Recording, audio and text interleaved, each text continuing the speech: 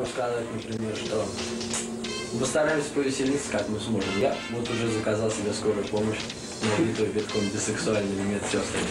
Это моя слабость. Вот. А вообще я с удовольствием поем пиццу, я люблю есть пиццу. Знаете, я кладу горячую пиццу на голую девушку и ем прям ртом с нее. Это очень клево. С Новым!